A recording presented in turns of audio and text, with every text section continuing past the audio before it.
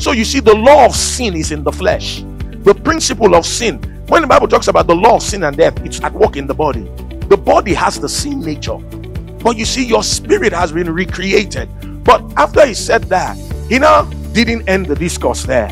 It starts with in chapter 8, the first verse, when he said, There's therefore now no condemnation to them that are in Christ Jesus.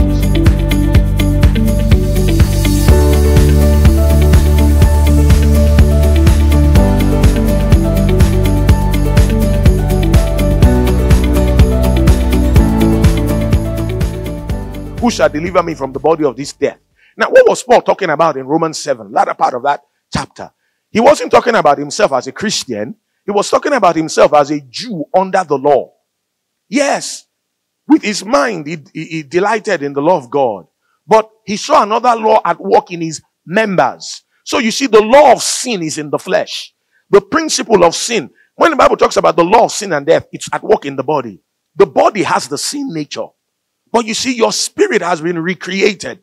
But after he said that, he now didn't end the discourse there. It starts with in chapter 8, the first verse, when he said, There's therefore now no condemnation to them that are in Christ Jesus, who walk not after the flesh, but after the spirit. Now, that last part is not in some translations. Verse 2 says, For the law of the spirit of life in Christ Jesus has made me free. That word free is eleutheros, exempted me from the dominion of that principle of sin and death. So you see, there's a law of sin and death at work in the body. But the spirit of man, man's, Romans 8 10 says, and if Christ be in you, the body is dead because of sin. It's still spiritually dead. It has a sin nature. It says, but the spirit is life. Your spirit is alive because of righteousness. That's why that law of the spirit of life really is righteousness. The spirit is life because of righteousness. So you see, at the new birth, God's life is imparted to a man's spirit. God's nature is imparted into a man's spirit and it instantly recreates that spirit. Now, what should that new man now do? Simple. Is to let his recreated spirit dominate his soul and his body. Galatians 5:16 says, This I say then, walk in the spirit, and ye shall not fulfill the lust of the flesh. So, verse 17 says, For the flesh lusteth against the spirit, the spirit against the flesh. These are contrary the one to the other, so that ye cannot do the things that ye would. It says, But if ye be led of the spirit, ye are not under the law. It says in verse 19, Now the works of the flesh are manifest, which are these adultery, fornication, uncleanness, lasciviousness, idolatry, witchcraft, hatred, variance, emulations, wrath, strife, seditions, heresies, drunkenness, revelings, and such like of the which I tell you before, as I told you in time past, that they which do such things shall not inherit the kingdom of God. 22 says, but the fruit of the spirit is. So it's just one fruit, but it has nine parts. Love, joy, peace, long suffering, gentleness, goodness, faith, actually faithfulness. 23, meekness, temperance. Says, against such there is no law. Says they that are Christ have crucified the flesh with its affections and lusts. If you live in the spirit, let us also walk in the spirit. Now, if you're born again, you actually live in the spirit. You are alive in your spirit. Your spirit has all those attributes inside it. Your flesh has all those other attributes. He lists 17 things and then he said, etc. So the 17, the list of 17 is not, is not exhaustive. There are others in the same family.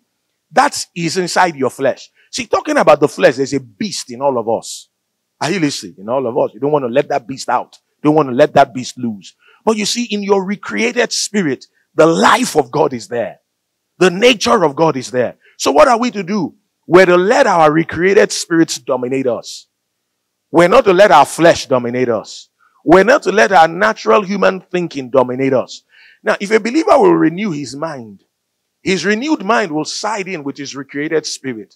And his recreated spirit, walking through his renewed mind, will subdue his flesh, will dominate his body.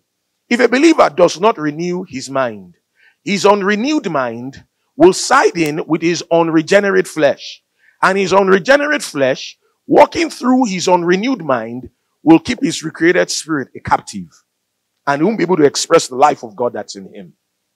Now let's look at some more scriptures about this new man, about this fact that we are reborn, this fact that we are recreated. In Colossians chapter 3, Colossians chapter 3. Remember, we're talking about how to be strong in the Lord. Colossians chapter 3, verses 9 and 10. The Bible says, Lie not one to another, seeing ye have put off the old man with his deeds, and have put on the new man, which is renewed in knowledge after the image of him that created him. So the Bible talks about putting off the old man, and it talks about putting on the new man. Now, you see, that old man is actually dead. He's gone. But you see, the, your flesh, your body still has the attributes of that old man. Are you listening? So the Bible talks about putting off the old man with his deeds. And it talks about putting on the new man, which after God, which like God is created in righteousness and true holiness. Now, like Ephesians 4, Ephesians 4, you know, uh, if you read from uh, verse um, 17, Bible talks about having the understanding darkened, being alienated from the life of God through the ignorance that's in them because of the blindness of their hearts.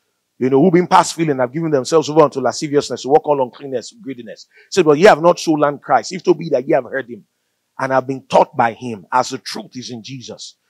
22 says that ye put off concerning the former conversation, the old man, which is corrupt according to deceitful lusts. 23 says, and be renewed in the attitude, in the spirit of your mind. 24 says, and that ye put on the new man, which after God is created in righteousness and true holiness. So we're to put off the old man. We're to put on the new man. We're to let our recreated spirits dominate us. Now, the old man, that old spiritual man was dead. When Christ was crucified on that cross, he was crucified with him. When Christ died, he died with him. When Christ was buried, he was buried with him. When he went to hell, that old man went to hell with him. When Christ was made alive out of spiritual death, this new man was made alive with him. Amen. You know, the Bible talks about being loose from the throes of death, from the pangs of death, the birth throes. Those three days and nights in hell, that's when the church was being brought forth. And when Jesus was made alive, he was made alive first. When he was made alive, you were made alive with him. That new man was brought forth. Amen. When he was then raised from the dead, that new man was raised from the dead with him. You see, you are a new man. You're a new creature. You are not who you used to be. If the believer will maintain his confession that he's a new creature, if you just maintain that confession, I'm a new man in Christ Jesus. The life of God is in me. The nature of God is in me. I walk in the light of life. If you maintain your confession that you're a new creature, it's going to become easier, amen, to live that victorious life. The more you confess it, the more real it becomes to you. The less you confess it, the less real it gets to you. Listen, you're a new creature.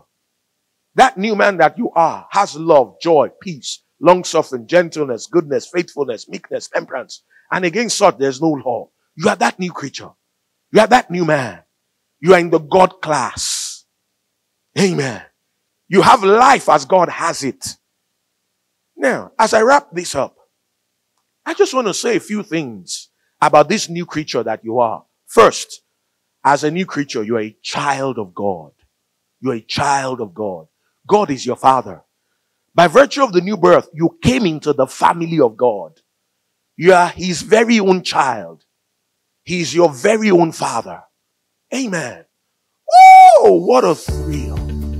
The truth is this there's no truth as far reaching as the blessed fact that every one of us who's born again has come into the family of God. God loves us John 17 23 said, I in them and thou in me, that they be made perfect in one, and that the world may know that thou hast sent me and hast loved them as thou hast loved me. So God loves you the same way he loved Jesus. That means God is with you like he was with Jesus. Jesus could say, You may all leave me. He said, But I'm not alone. My Father is with me. Oh, God is with you. God is for you. He's your Father. He's a good father. He's a loving father. He's a caring father. I know you may have some bills lined up. I know you may have some things to sort out. But listen, the creator of the universe is your father.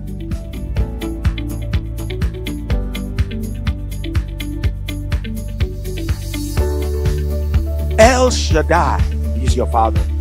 Jehovah Jireh is your father. He's your father. First Peter 5 7. He cares for you affectionately. And he cares about you in the Amplified Classic watchfully. He's your father. He's your father. You are in his family. You are in his family. It's not about what church you belong, it's about whose family do you belong to. You're in the family of God. It's about the father and his family. And you're in that family.